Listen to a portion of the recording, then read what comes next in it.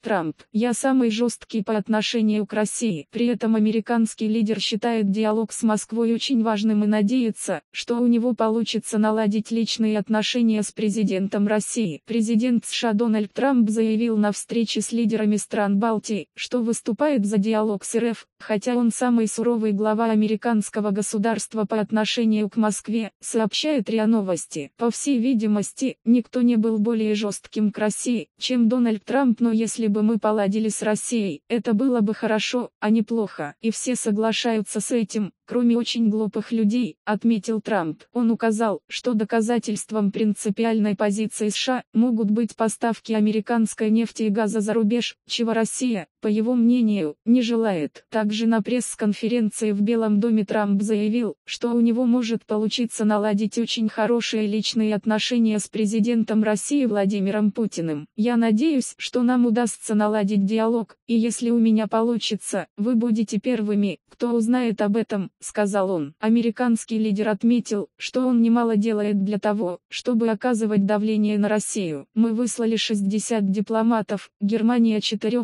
Франция 4. Никто не был столь же жестким с Россией, указал президент США. При этом он заявил, что хочет хороших отношений с Путиным и надеется их наладить, хотя есть и большая вероятность, что этого не произойдет. Напомним, во время телефонной беседы 20 марта Трамп предложил Путину провести встречу в Вашингтоне. Белый дом подтвердил встречу Трампа с Путиным. Новости от корреспондент.нет в Telegram. Подписывайтесь на наш канал и https По материалам сайта Newsgro.com.